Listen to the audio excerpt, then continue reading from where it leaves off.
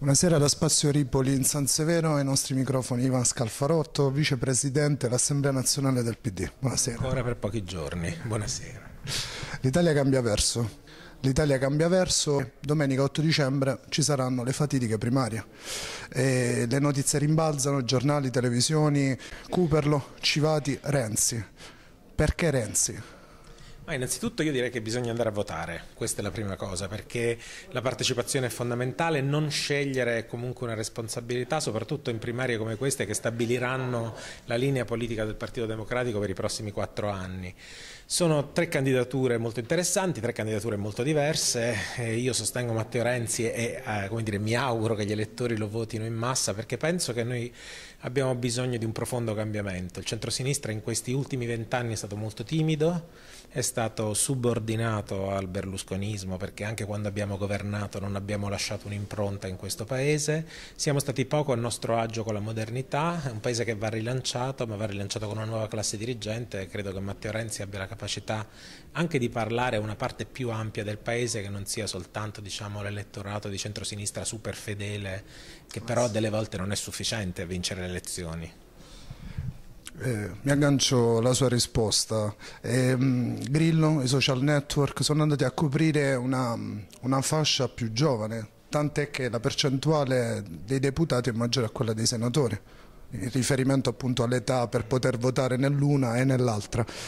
C'è chi dice che Cooperlo sia figlio del PD mentre Renzi lo usi di sponda per questioni di individualismo. Qual è la sua opinione in merito? Ma Renzi anche quando l'anno scorso veniva invitato a uscire dal PD e capitalizzare la sua enorme popolarità non lo ha fatto.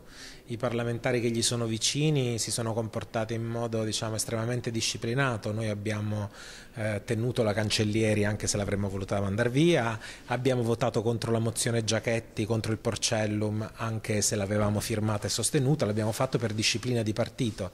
Renzi quando ha perso le primarie si è messo a disposizione, altri parlano di scissione, quindi credo che se c'è qualcuno che sta nel partito con lealtà, questo è Matteo Renzi. Quanto al 5 Stelle, diciamo, alla gioventù, io penso che l'elettorato italiano sia diventato molto più mobile di un tempo. No? Prima era, diciamo, si votava molto per fedeltà anche familiare, oggi si vota se il programma è buono. Penso che questa sia la maggiore forza di Renzi, quello di riuscire a parlare a una parte larga del paese, anche a quelle persone che hanno votato per 5 Stelle. In caso di vittoria, Renzi sicuramente darà un'impronta nuova, ha una grossa forza mediatica, gli viene, gli viene attribuito anche un eccessivo potere mediatico. Eh, in realtà la grande comunicazione è quella che ha fatto anche la fortuna di Berlusconi per vent'anni. Molti parlano di affinità tra i due, ma in realtà, ma in realtà eh, la questione è più strettamente legata a quelli che sono i minuti di presenza in televisione e giornali e non a quella che è la corrente politica di appartenenza. E, ehm, nel caso dovesse vincere Renzi, per lei riuscirebbe veramente a dare una, una sterzata, un cambiamento in questa Italia ormai che è un gigante di argilla che cade a pezzi. Diciamo una cosa sulla comunicazione. La politica senza comunicazione non serve a niente, nel senso che se uno ha anche delle eccellenti idee ma non le sa comunicare non serve a granché. Noi abbiamo fatto una campagna elettorale nelle scorse elezioni politiche nella quale avevamo forse delle idee ma erano misteriose. Noi abbiamo tirato fuori otto punti per il governo dopo le elezioni, non durante o prima delle elezioni.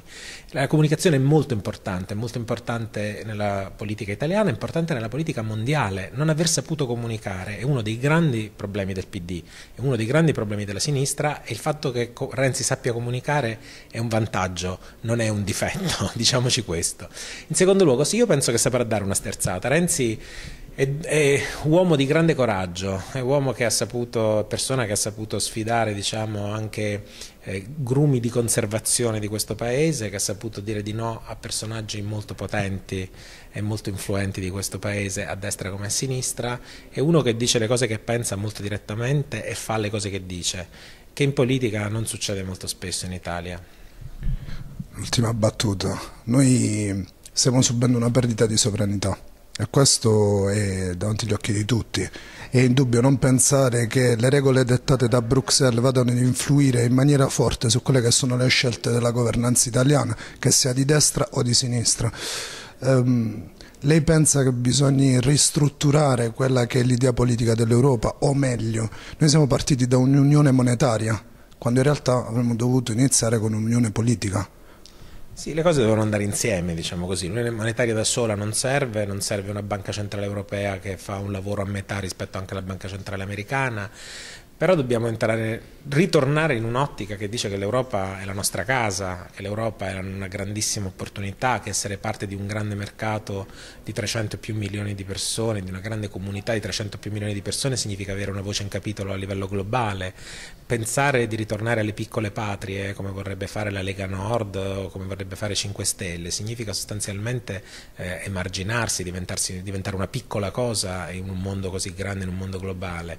Poi è certo, le regole fatte sull'euro, le regole economiche, sono regole che sono state fatte vent'anni fa quando lo scenario economico era completamente diverso da quello di oggi e vanno probabilmente rinegoziate e per questo serve un'Italia forte per poter eh, sedersi al tavolo e, e avere un... Beh, quantomeno avere voce in capitolo. Oggi lo siamo così così, certamente il PD non ha contribuito a sufficienza. Io penso che un PD più forte, un PD che dice delle cose più nette, potrebbe aiutare anche il governo a essere più efficace. Io sono uno di quelli che pensa che una vittoria di Renzi non indebolisce il governo ma lo rafforza.